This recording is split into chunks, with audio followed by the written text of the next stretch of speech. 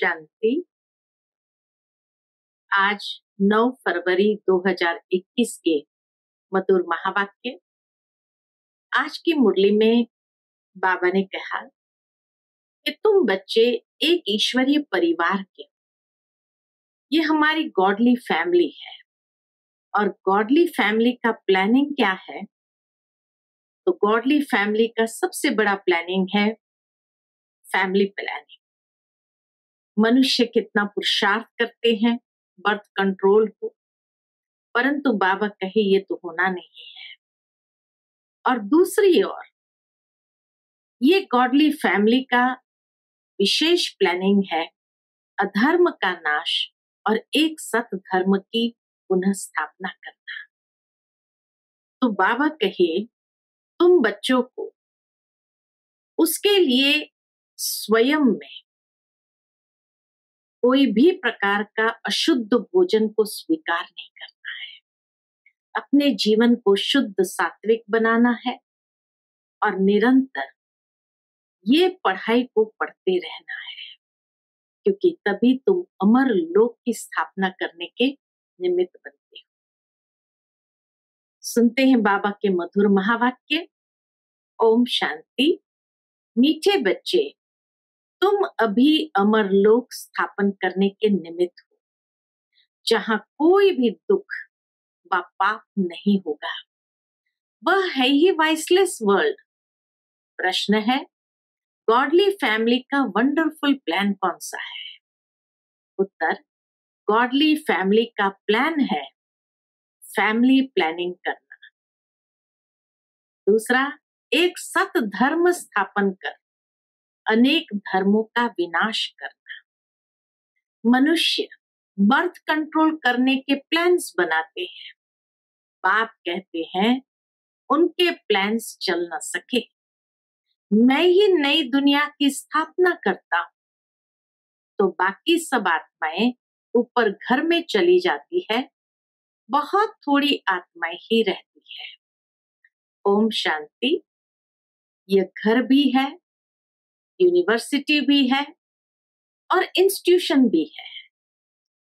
तुम बच्चों की आत्मा जानती है कि वह है शिव बाबा। आत्माएँ हैं शालिग्राम। जिनका यह शरीर है, शरीर नहीं कहेगा हमारी आत्मा। आत्मा कहती है हमारा शरीर। आत्मा है अविनाशी, शरीर है विनाशी। अभी तुम अपने को आत्मा समझते हो। हमारा बाबा शिव है। वह है सुप्रीम फादर। आत्मा जानती है। वह हमारा सुप्रीम बाबा भी है। सुप्रीम टीचर भी है। सुप्रीम गुरु भी है। कैसे हैं? बाबा समझाते हैं। भक्ति मार्ग में भी बुलाते हैं, ओ गॉड फादर मरने समय भी कहते हैं, हे भगवान, हे ईश्वर, पुकारते हैं ना? परंतु किसकी बुद्धि में यथार्थ रीति बैठता नहीं है? फादर तो सब आत्माओं का एक हो गया। फिर कहा जाता है, हे पतित पावन। तो सभी फादर कह करके तो बुलाते हैं। फिर कहा जाता है, हे पतित पावन। तो गुरु भी हो गया। क्योंकि पतितों को पावन करना, सदगति करना, ये तो गुरु ही कर सकते हैं। तो गुरु भी हो गया। कहते हैं ना, कहते हैं, दुख से हमको लिबरेट कर, शांति धाम में ले जाओ। तो बाप भी हुआ, फिर पतित पावन सतगुरु भी हुआ। फिर सृष्टि चक्र कैसे फिरता है? मनुष्य चौरासी जन्म कैसे लेते हैं? वह बेहद की हिस्ट्री जोग्राफी सुनाते हैं। इसलिए सुप्रीम टीचर भी हुआ। तो कैसे बाबा सुप्रीम फादर, सुप्रीम सतगुरु और सुप्रीम टीचर है, ये बाबा ने स्पष्ट किया। अज्ञान काल में बाप अलग टीचर अलग, गुरु अलग होते हैं। ये बेहद का बाप टीचर गुरु एक ही है। कितना फ़र्क हो गया? बेहद का बाप, बेहद का वर्षा देते हैं बच्चों को। वह भी हद का वर्षा देते हैं। पढ़ाई भी हद की है। वर्ल्ड की हिस्ट्री, ज्योग्राफी को तो कोई जानते नहीं। ये किसको पता नहीं है? लक्ष्मी नारायण ने राज्य कैसे पाया? कितना समय वह राज्य चला? फिर त्रेता के राम सीता ने कितना समय राज्य किया? कुछ नहीं जानते। अभी तुम बच्चे समझते हो, बेहद का बाप आए हैं हमको पढ़ाने। फिर बाबा सदगति का रास्ता बताते हैं। तुम चौरासी जन्म लेते लेते पतित बनते हो, अब पावन बनना है। यह है तमो प्रधान दुनिया। सतो रजो तमो में हर चीज़ आती है। यह जो सृष्टि है उनकी भी आयु है नई सो पुरानी पुरानी सो फिर नई होती है। यह तो सब जानते हैं। सतयुग में भारत ही था, उनमें देवी देवताओं का राज्य था, गॉड गॉडेस का राज्य था। अच्छा फिर क्या हुआ? फिर उन देवी देवताओं का क्या हुआ? अच्छा फिर क्या हुआ? उन्होंने पुनर्जन्म लिया। सतो प्रधान से सतो रजो तमो में आए।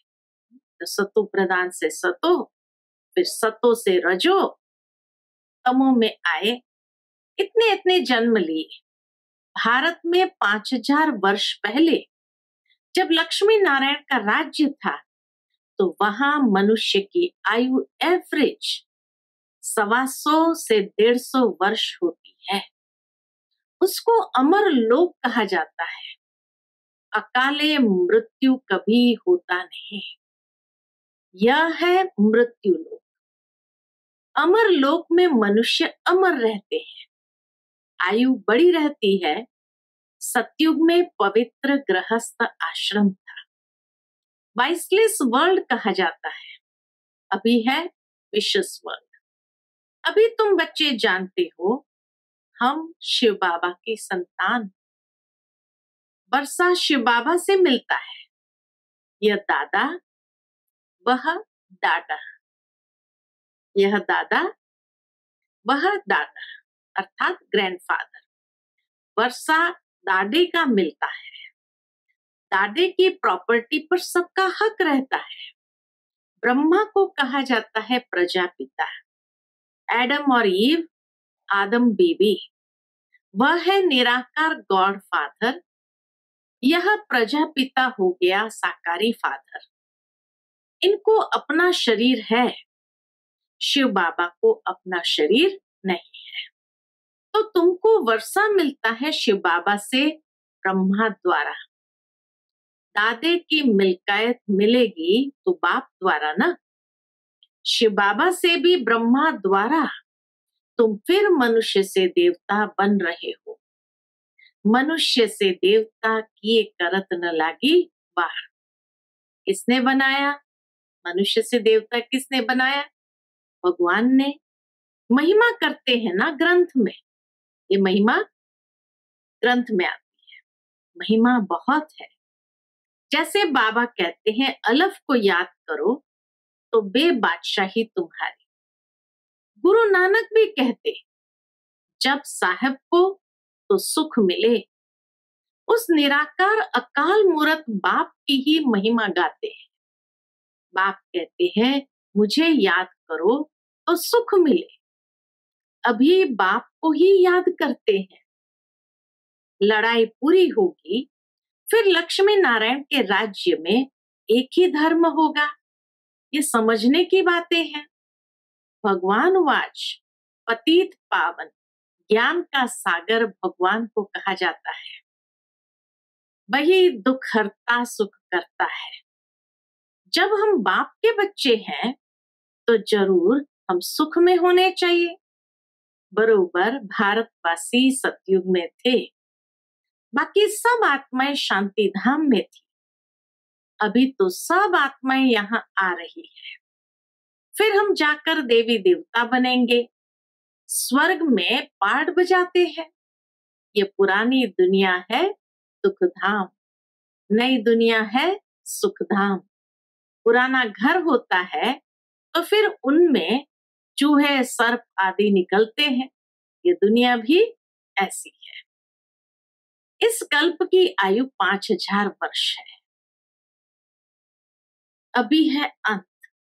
गांधी जी भी चाहते थे, नई दुनिया, नई दहली हो, राम राज्य हो, परंतु यह तो बाप का ही काम है। देवताओं के राज्य को ही राम राज्य कहते हैं। नई दुनिया में तो ज़रूर लक्ष्मी नारायण का राज्य होगा। पहले तो राधे कृष्ण दोनों अलग अलग राजधानी के हैं। फिर उन्हों की सगाई हुई तो लक्ष्मी नारायण बनते हैं। ज़रूर इस समय ऐसे कर्म करते होंगे। बाप तुमको कर्म, अकर्म, विकर्म की गति बैठ समझाते हैं। रावण राज्य में मनुष्य जो कर्म करेंगे, वो कैसे होंगे? वह कर्म, विकर्म बन जाते हैं। सतयुग में कर्म, अकर्म होते हैं। गीता में भी है, परंतु नाम बदल दिया है। यह है भूल। गीता में भी ये बात है, कर्म कर्म विकर्म की गति में तुम्हें समझाता। परंतु बाबा कहे, नाम बदल लिया है। यह है भूल। कृष्ण जयंती तो होती है सतयुग में। शिव है निराकार परम पिता। कृष्ण तो साकार मनुष्य है। पहले शिव जयंती होती है, फिर कृष्ण जयंती भारत में ही मनाते हैं। शिवरात्रि कहते हैं, बाप आकर भारत को स्वर्ग का राज्य देते हैं। शिव जयंती के बाद है कृष्ण जयंती। उनके बीच में होती है राखी, क्योंकि पवित्रता चाहिए। पुरानी दुनिया का विनाश भी चाहिए। फिर लड़ाई लगती है तो सब खत्म हो जाते हैं। फिर तुम आकर नई दुनिया में राज्य करेंगे। तुम इस पुरानी दुनिया मृत्यु लोक के लिए नहीं पढ़ते हो। तुम्हारी पढ़ाई है नई दुनिया अमर लोक के लिए। ऐसा तो कोई कॉलेज नहीं होगा। अब बाप कहते हैं, इस मृत्यु लोक का अंत है। इसलिए जल्दी पढ़कर होशियार होना है। ऐसा तो दुनिया में कोई कॉलेज नहीं। पढ़ो यहाँ और डिग्री पाओ, भविष्य में।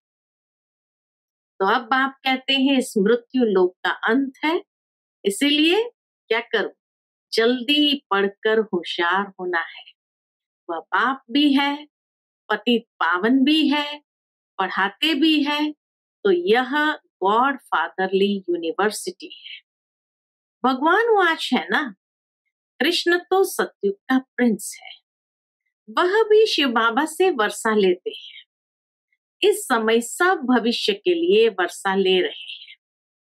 वे जितना पढ़ेंगे, उतना वर्षा मिलेगा। नहीं पढ़ेंगे तो पद कम हो जाएगा। कहाँ भी रहो, पढ़ते रहो। कहाँ भी रहो, पढ़ते रहो। मुरली तो विलायत में भी जा सकती है। बाबा रोज सावधानी भी देते रहते हैं। बच्चे, बाप को याद करो, इससे तुम्हारे विकर्म विनाश होंगे। आत्मा में जो खाद पड़ी है, वह निकल जाएगी। आत्मा सौ परसेंट प्योर बननी है।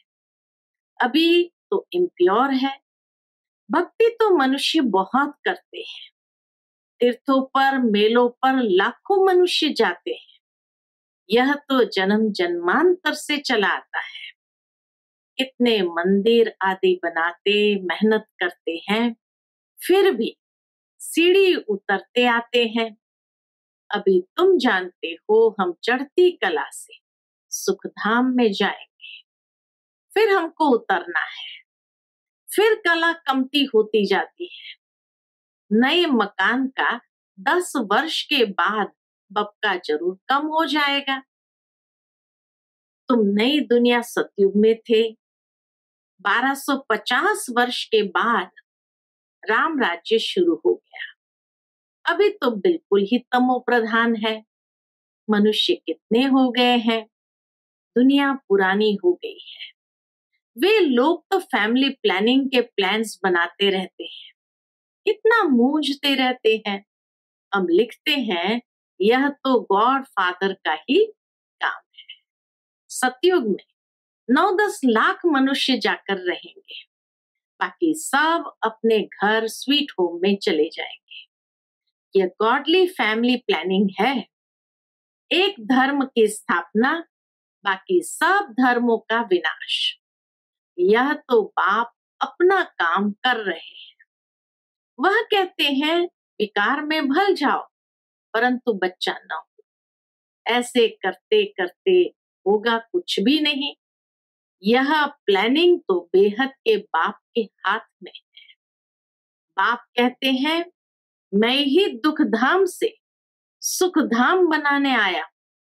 हर पाँच हज़ार वर्ष बाद में आता कलयुग के अंत और सतयुग के आदि में अभी यह है संगम। जबकि पतित दुनिया से पावन दुनिया बनती है।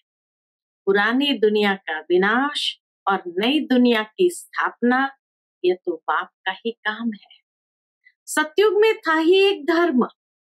यह लक्ष्मी नारायण विश्व के मालिक, महाराजा महारानी थे। यह भी तुम जानते हो। यह माला किसकी बनी हुई है? ऊपर में है फूल, शिव बाबा, फिर है युगल दाना, ब्रह्मा सरस्वती। उन्हों की यह माला है जो विश्व को नरक से स्वर्ग पतित से पावन बनाते हैं। एक सौ आठ की माला उन्हों की है, जिन्होंने विश्व को नरक से स्वर्ग, पतित से पावन बनाया है। जो सर्विस करके जाते हैं, उन्हों की ही याद रहती है। तो बाप समझाते हैं, यह सत्युग में पवित्र थे ना? प्रवृत्ति मार्ग पवित्र था, अभी तो पतित है। गाते भी है, पतित पावन आओ। आकर हमको पावन बनाओ। सत्युग में थोड़ी ऐसे पुकारेंगे। सुख में कोई भी बाप का सिमरण नहीं करते हैं। दुख में सब सिमरण करते हैं। बाप है ही लिबरेटर रहम दिल ब्लिसफुल आकर सबको मुक्ति, जीवन मुक्ति देते हैं। बुलाते भी उनको है। आकर स्वीट होम में ले चलो। बाप कोई बुलाते हैं, आकर हमको स्वीट होम में ले चलो। अभी सुख है नहीं। यह है प्रजा का प्रजा पर राज्य। सतयुग में तो राजा रानी प्रजा होते हैं। बाप बताते हैं, तुम कैसे विश्व के मालिक बनते हो? वहाँ तुम्हारे पास अथाह अनगिनत धन रहता है। सोने की ईंटों के मकान बनते हैं। मशीन से सोने की ईंटें निकलती रहती है। फिर उसमें भी हीरे जवाहरत की जड़ित करते हैं। द्वापर में भी इतने हीरे थे जो लूट कर ले गए। अभी तो कुछ सोना दिखाई ही नहीं पड़ता है। यह भी ड्रामा में नून है। बाप कहते हैं, क्या कहते हैं बाबा? मैं हर पाँच हज़ार वर्ष बाद आता। पुरानी दुनिया के विनाश के लिए ये एटॉमिक बॉम्ब्स आदि बने हैं। यह है साइंस। बुद्धि से ऐसी ऐसी चीज़ें निकाली है। बुद्धि से बाबा कहे ऐसी ऐसी चीज़ें निकाली है जिससे अपने ही कुल का विनाश करेंगे। यह कोई रखने के लिए थोड़ी बनाते हैं। ये रिहर्सल होती रहेगी। जब तक हम्म, ये रिहर्सल होती रहेगी जब तक राजधानी स्थापन नहीं हुई है तब तक लड़ाई नहीं लग सकती। दावा के तब तक लड़ाई नहीं लग सकती। तैयारियाँ तो हो रही है। उसके साथ नेचुरल कैलेमिटीज भी होगी। इतने आदमी होंगे नहीं। अब बच्चों को इस पुरानी दुनिया को भूल जाना है। अब पुरुषार्थ पर आते हैं बाबा कि अब बच्चों को इस पुरानी दुनिया को भूल जाना है। बाकी स्वीट होम, स्वर्ग की बादशाही को याद करना है। जैसे नया घर बनाते हैं तो फिर बुद्धि में नया घर ही याद रहता है ना? अब भी नई दुनिया की स्थापना हो रही है। बाप है, सर्व का सदगति दाता। आत्माएँ सब चली जाएँगी, बाकी शरीर यहाँ खत्म हो जाएँगे। आत्मा पवित्र बनेगी बाप की याद से। पवित्र ज़रूर बनना है। देवताएँ पवित्र है ना? उन्हों के आगे कब बीड़ी तंबाकू आदि नहीं रखी जाती? वह वैष्णव है। विष्णुपुरी कहा जाता है वह है ही वाइसलेस वर्ल्ड।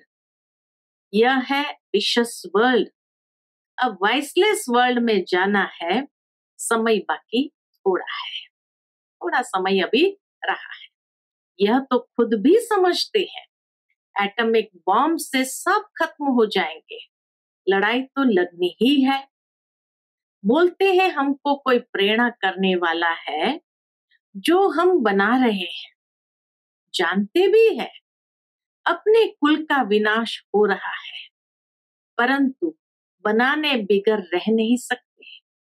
शंकर द्वारा विनाश, यह भी ड्रामा में नोंद है। विनाश सामने खड़ा है। ज्ञान यज्ञ से यह विनाश ज्वाला प्रज्वलित हुई है। अभी तुम स्वर्ग का मालिक बनने लिए पढ़ रहे ये पुरानी दुनिया खत्म हो, नहीं बन जाएगी। ये चक्र फिरता रहता है। हिस्ट्री मस्ट रिपीट पहले आदि सनातन देवी देवता धर्म था, फिर चंद्रवंशी, क्षत्रिय धर्म, फिर उसके बाद इस्लामी बौद्धि आदि आए, फिर ज़रूर पहले नंबर वाला आएगा। और सब विनाश हो जाएँगे। तुम बच्चों को कौन पढ़ा रहे हैं? वह निराकार शिव बाबा। वही शिक्षक है, सतगुरु है। आने से ही पढ़ाई शुरू करते हैं। इसलिए लिखा हुआ है शिव जयंती, सो गीता जयंती। गीता जयंती, सो श्री कृष्ण जयंती।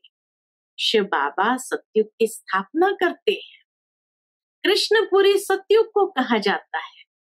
अभी तुमको पढ़ाने वाला कोई साधु संत मनुष्य नहीं है। यह तो दुखरता सुख करता, बेहद का बाप है। इक्कीस जन्म के लिए तुमको वर्षा देते हैं। विनाश तो होना ही है। इस समय के लिए ही कहा जाता है, इनकी दबी रही धूल में इनकी राजा खाए, इनकी चोर लूट जाए चोराकारी भी बहुत होगी। बाबा कहे, चोराकारी भी बहुत होगी। आग भी लगनी है। इस यज्ञ में सब स्वाहा हो जाएँगे। अभी थोड़ी थोड़ी आग लगेगी, फिर बंद हो जाएगी। थोड़ी अजुन देरी है। सब आपस में लड़ेंगे, छुड़ाने वाला कोई रहेगा नहीं। रक्त की नदियों के बाद फिर दूध की नदियाँ बहेगी। इसको कहा जाता है खुने नाहक खेल। बच्चों ने साक्षात्कार भी किया है। फिर इन आँखों से भी देखेंगे। विनाश के पहले बाप को याद करना है तो तमो प्रधान से आत्मा सतो प्रधान बन जाए। बाप नई दुनिया स्थापन करने के लिए तुमको तैयार कर रहे हैं। राजधानी पूरी स्थापन हो जाएगी, फिर विनाश होगा। जब राजधानी पूरी स्थापन हो जाएगी, फिर विनाश होगा। अच्छा मीठे मीठे सिकिलते बच्चों प्रति माता पिता बाप दादा का याद प्यार और गुड मॉर्निंग। रूहानी बाप की रूहानी बच्चों को नमस्ते। हम सब रूहानी बच्चों की रूहानी मात पिता बाप दादा को याद प्यार, गुड मॉर्निंग और नमस्ते नमस्ते। शुक्रिया बाबा, शुक्रिया। आज की मुरली से धारणा के लिए मुख्य सार है, पहली पॉइंट विष्णुपुरी में चलने के लिए स्वयं को लायक बनाना है। संपूर्ण पावन बनना है, अशुद्ध खान पान त्याग कर देना है। विनाश के पहले अपना सब कुछ सफल करना तो तीन बातें बताई विष्णुपुरी में चलने के लिए। लायक बनना है तो कौन सी लायकात चाहिए? संपूर्ण पावन बनना है, अशुद्ध खान पान का त्याग कर देना है और विनाश के पहला अपना सब कुछ सफल कर देना है। दूसरी पॉइंट, जल्दी जल्दी पढ़कर होशियार होना है। कोई भी विकर्म न हो, उसका ध्यान रखना है।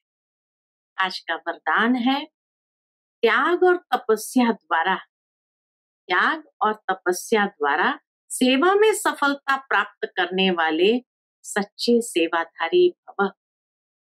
त्याग और तपस्या द्वारा सेवा में सफलता प्राप्त करने वाले सच्चे सेवाधारी भव।